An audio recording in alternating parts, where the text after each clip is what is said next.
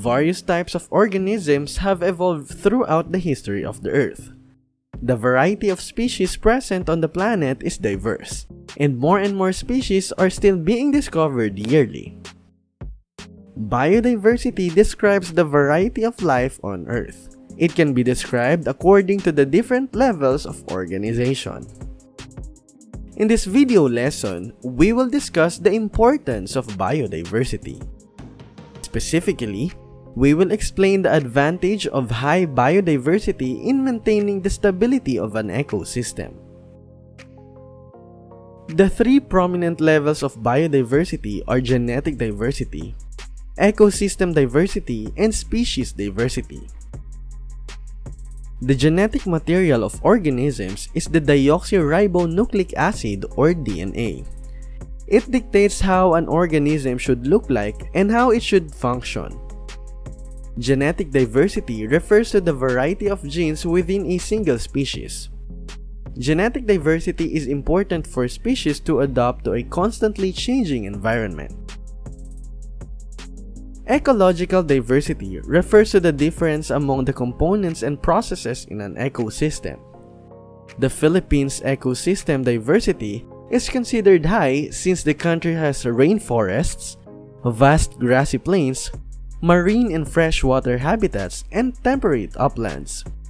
Having a high ecosystem diversity is preferable since it suggests high diversity for lower levels as well. One basic unit of biological classification is an organism's species. A species is defined as the group of organisms that can interbreed. The species diversity of a community can be described based on the number of species present or its richness, or its evenness or the abundance of each of these species relative to each other. To further understand how organisms behave and interact with their surroundings, a standardized model of identification and classification is needed. A taxonomic concept of Carlos von Linnaeus places each organism in a series of hierarchically arranged categories. The taxonomic ranks are accordingly arranged as kingdoms, phylum, class, order, family, genus, and species. Biodiversity is not only used to describe the variety of life on Earth, it is also used to indicate how healthy an ecosystem is.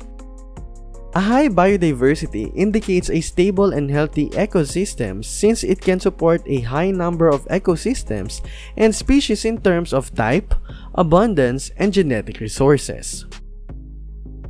On the other hand, low biodiversity means that there are relatively fewer species abundance and number in an ecosystem. It also indicates that the food webs present are relatively simpler. A stable ecosystem is also usually a resilient ecosystem.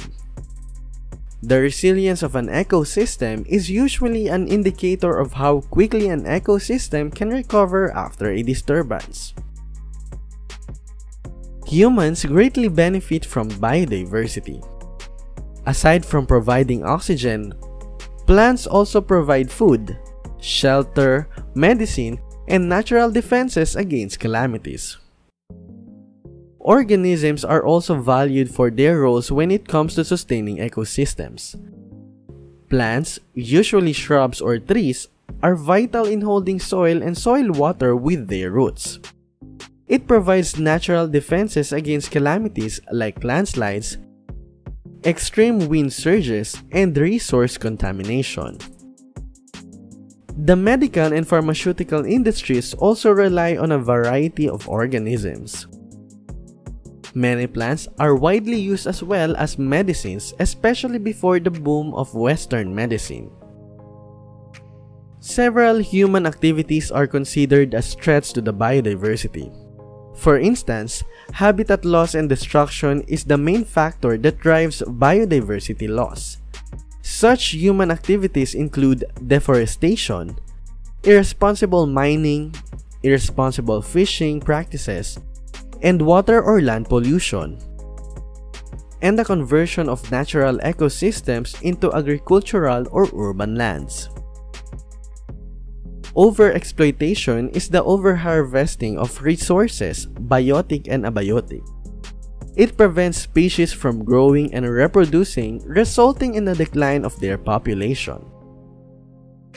Introduced species can prey upon the native species or outcompete them in obtaining resources such as water, minerals, and space.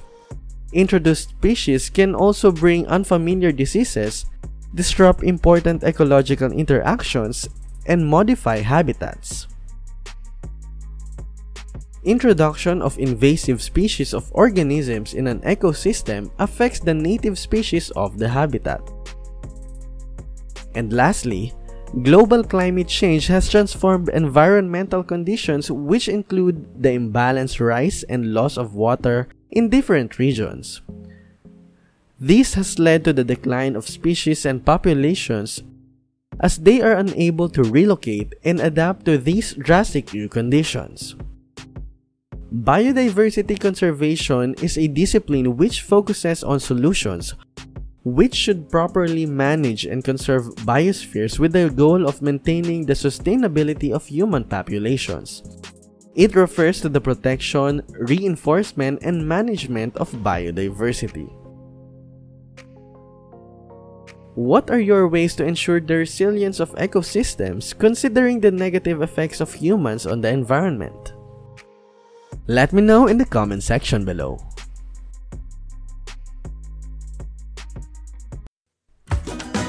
If you like more science videos, make sure to subscribe to this channel. Thank you and always remember that you are all awesome.